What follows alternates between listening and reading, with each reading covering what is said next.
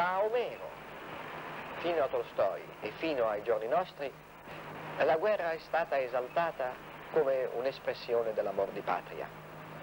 Tutti gli italiani conoscono il famoso finale dei sepolcri di Ugo Foscolo.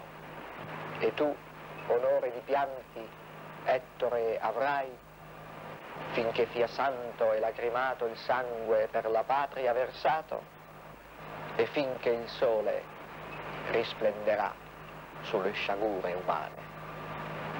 Eh, ebbene, questo finché, questo limite ormai è stato raggiunto.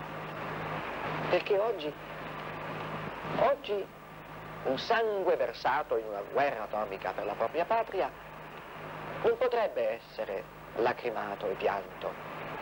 Perché? Perché sarebbe un sangue che contribuirebbe soltanto a distruggere la propria patria.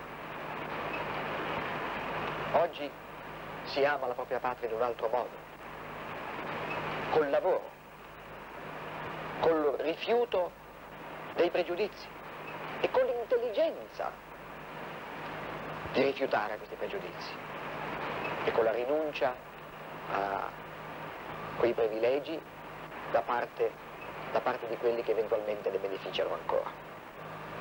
E anche proprio l'ultimo verso del Foscolo, anche lì è stato raggiunto, questo limite ormai è raggiunto e finché il sole risponderà sulle sciagure umane, questo finché.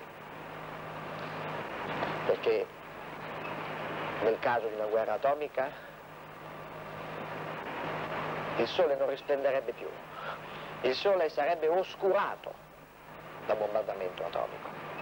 E quando poi dopo tornerebbe a risplendere non illuminerebbe più le sciagure umane, perché non ci sarebbe più umanità. È questo che gli imbecilli vogliono?